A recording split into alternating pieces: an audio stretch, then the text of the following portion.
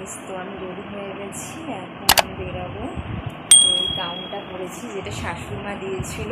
তো তোমার দাদাভাইয়ের ড্রেসটা নিচে নিয়ে যাব, এখন একসাথে আমরা যাব। আমি, কাকা, তোমার দাদাভাই যাবে।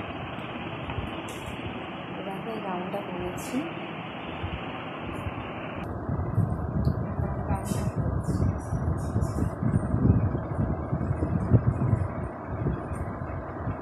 তো চলো পরে আবার তোমার সাথে কথা হচ্ছে টাটা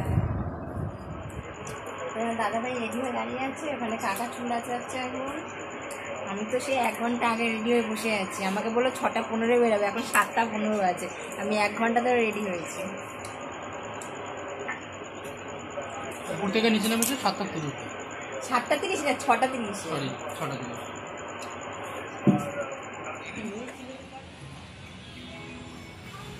তো আমরা এখন চলে এসেছি বাগুইয়াটি ভিআইপি ঠাকুরটা দেখতে। তো এখানে থিম করেছে বাটুল দি গ্রেট। তো থিমটা করার একটাই উদ্দেশ্য, কিছুদিন আগে বাটুল দি গ্রেটের যে রাইটার ছিলেন, শ্রী নারায়ণ দেবনাথ মহাশয়, তো ওনার এই স্মৃতির উদ্দেশ্যেই থিমটা করা। আমরা খুবই দুঃখিত যে এরকম একটা মহামানব আমাদের মধ্যে থেকে হারিয়ে গেছেন। তো তার স্মৃতির উদ্দেশ্যে এত সুন্দর একটা থিম তোমাদের দিদিভাই দাঁড়িয়ে আছে। আর এটা হচ্ছে ঠাকুর। বাগুয়াটি ভিআইপি মায়ের চিন্ময়ী রূপ, খুবই ভালো করেছে। তো তোমরা সবাই দেখতে থাকো, আশা করি ভালো লাগবে। আর আজকে ভিডিওতে ভয়েস আমি দিচ্ছি, কারণ তোমাদের দিদিভাই সমস্ত জায়গার ঠাকুরের নাম জানে না, জায়গার নাম জানে না। তো সে কারণে অনেকটা প্রবলেম হয়। তো সে কারণে আজকে ভিডিওতে ভয়েসটা আজকে আমিই দেবো।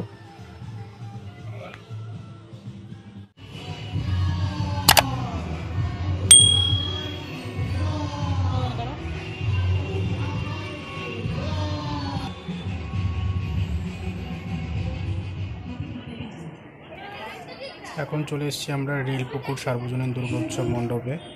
তো এখানে এবছরের থিম অভিনেতা সৌমিত্র চ্যাটার্জির মানে অভিনয় জগতের ওনার যে সমস্ত যা স্মৃতি, ওনার যা কাহিনী সেগুলোকেই তুলে ধরা হয়েছে এই পুজো মণ্ডপে। প্রত্যেক বছরই এরা ভালো পুজো করে। প্রচুর প্রাইজ যেতে অন্ধকার মানে পুরো পরিবেশটাই অন্ধকার, তার মধ্যে তোমাদের যেটুকু দেখাতে পারছি, দেখো। মানে এতটাই এরা ভালো মানে করেছে যে মানে সমস্ত কিছু দেখে মনে হচ্ছে অরিজিনাল ঠিক আছে? এমনকি দুর্গা প্রতিমাটাকেও মনে হচ্ছে অরিজিনাল তার পাশে দুর্গা প্রতিমার পাশে দুজন বসে আছেন, ওপরের কারুকার্য, সবই সবই সৌমিত্র চ্যাটার্জির মানে জীবনাপ্রয়াস বসানোর জন্য করা হয়েছে। যাই হোক, অভিনয় জগতের একটা নক্ষত্র পতন বলা যেতে পারে। তো তোমরা দেখো যেটুকু তোমাদের দেখাতে পারছি, অন্ধকার তার মধ্যে থেকেও তোমাদের যেটুকু দেখাতে পারছি। ওনার মানে যুবক বয়স থেকে বার্ধক্য পর্যন্ত সমস্ত কিছু দেখানো হয়েছে এখানে।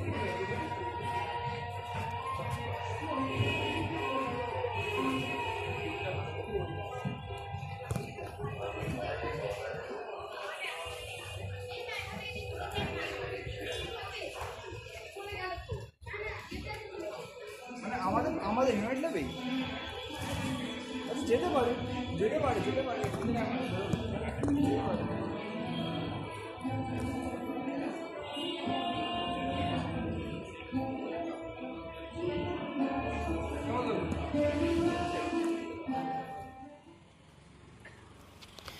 পুজো মণ্ডপটা দমদম পার্ক থেকে তোমার তরুণ সংঘ যাওয়ার পথে পড়েছে।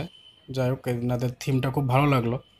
এনারা কাঠের চেয়ার টেবিল এসব দিয়ে করেছে। আর তার থেকেও বড় কথা, এরা অভিনয় জগৎ, খেলাধুলা জগৎ, সংগীত জগৎ, সমস্ত জগতের যারা মাননীয় মানে বিশিষ্ট ব্যক্তিত্ব, তো তাদের যারা দু হাজার একুশ থেকে দু হাজার বাইশ সালের মধ্যে এদের জীবনাবসান ঘটেছেন, তাদের মধ্যে অভিষেক ব্যানার্জি আছে, মারাদোনা আছে, এমনকি লতা মঙ্গেশকর আছে, আরও অন্য অন্য ব্যক্তি প্রমুখ রয়েছেন।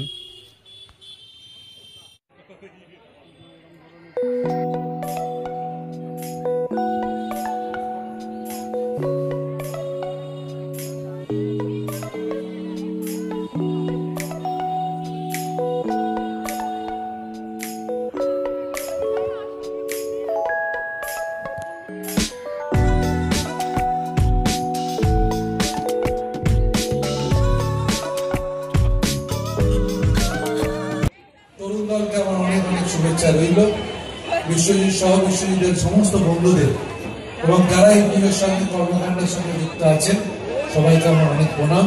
সবাই ভালো থাকবেন।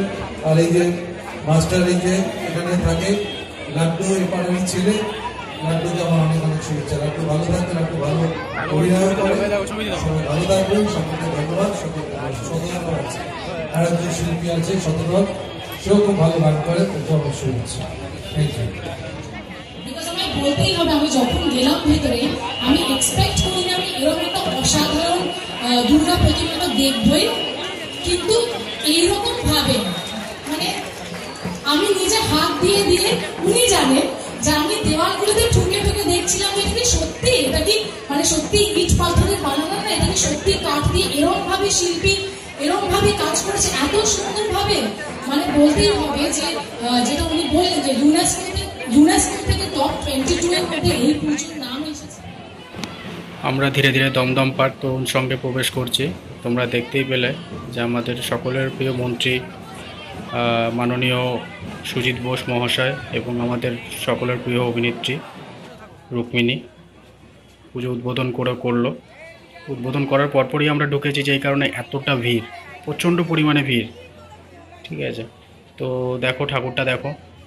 চারিদিকে শুধু অন্ধকার, ঠিক আছে? ছবি তোলার মতো কোনো মানে সম্ভাবনাই ছিল না। এত ভিড়, সবাই শুধু বলছে, চলো চলো, এগিয়ে চলো এগিয়ে চলো, ভলেন্টিয়াররা। তো তার মাঝখানেও যেটুকু তোমাদের দেখাতে পেরেছি, চেষ্টা করছি আরও ভালো দেখানো তো এদের থিমটা ছিল সিটি অফ জয় মানে বলতে চাইছি যে কলকাতাটা কীভাবে ট্রান্সফর্ম হলো একটা আর্ট গ্যালারিতে এদের থিমটা এটাই ছিল। তো ধীরে ধীরে কলকাতাটা কীভাবে পরিবর্তিত হচ্ছে?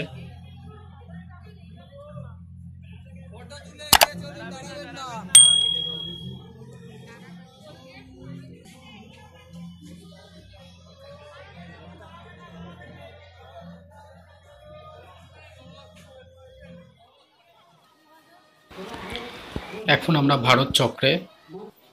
প্রত্যেক আগের বছর এখানে তোমার জুতো দিয়ে প্যান্ডেল ফ্যান্ডেল এসব করেছিল। এবছর তার কিছুটা ব্যতিক্রম হয়েছে। এবছর পাটের দড়ি আর বাঁশ, সেটা দিয়ে মণ্ডপ সজ্জা হয়েছে। তো দেখো, ভেতরটা এটাও অন্ধকার। আদৌ এদের থিম কি সেটা বোঝা গেল না। যে কটা প্যান্ডেলে ঢুকছি, সে কটা সবই দেখছি একই মানে অন্ধকারের মধ্যেই থাকা। ঠিক আছে, কোনো রকমে মানে ঠাকুরটা কোনো রকমের ছবি তুলতে পারা। দেখে মনে হবে না যে এটা আমরা তৃতীয়ার দিন ঠাকুরটা দেখছি। মানে তৃতীয়াতেই এত পরিমাণে ভিড়। না জানি অষ্টমী, নবমী, দশমী কীরকম ভিড় হতে চলেছে।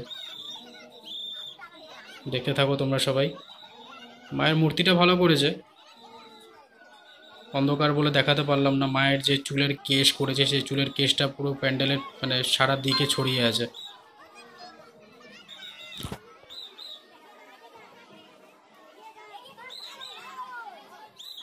অনেক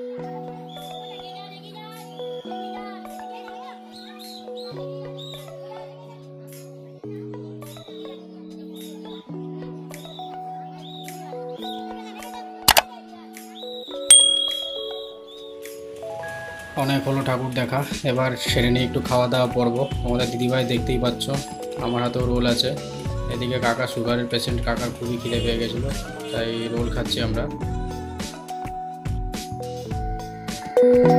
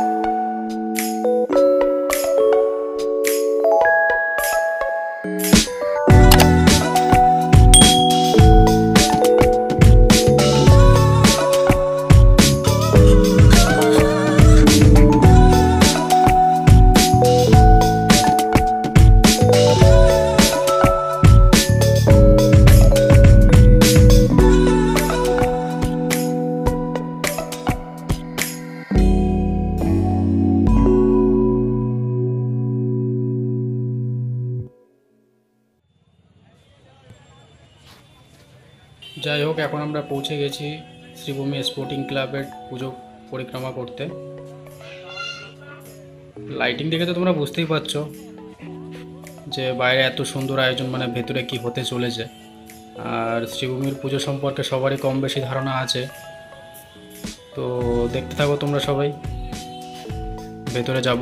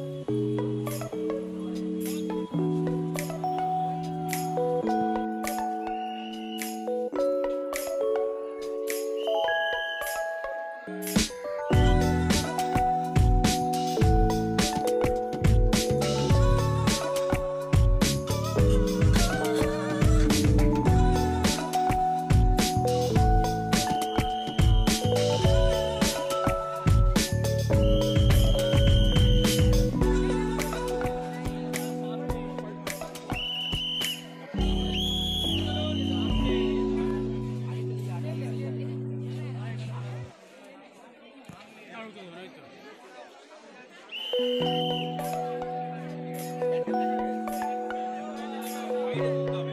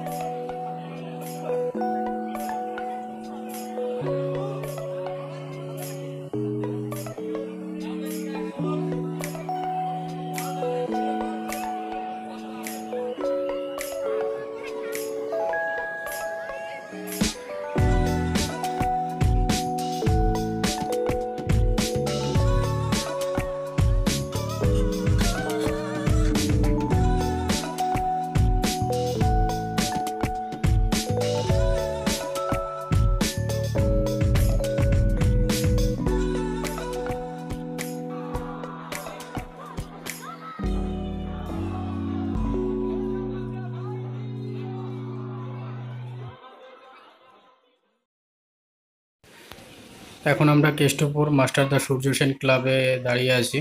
তো ওখানকার ঠাকুরটা দেখব। তোমাদের দিদিভাইয়ের আর এনার্জি নেই যে ঠাকুর দেখতে যাবে কোথাও। যাই হোক, এখন বাজে প্রায় রাত দুটো। তো এই ঠাকুরটাই এখন আজকের মতো শেষ। আবার কালকে যাব কলেজ স্ট্রিটের ওদিকে। তো আজকের মতো ভিডিওটা এখানেই শেষ করছি। তোমরা সবাই ভালো থেকো। যদি ভিডিও ভালো লেগে থাকে, তাহলে চ্যানেলটাকে অবশ্যই সাবস্ক্রাইব করে দিও। আর পাশে থাকা বেল আইকনটা ক্লিক করে সমস্ত নোটিফিকেশানগুলো পাওয়ার জন্য অন করে রেখো। আর ভিডিওটা ভালো লাগলে লাইক শেয়ার কমেন্ট করো। আর কোন ঠাকুরটা তোমাদের সব থেকে বেশি ভালো লাগল সেটাও কমেন্ট করে জানিও। ঠিক আছে? চলো তাহলে, আজকের মতো গুড নাইট টাটা বাই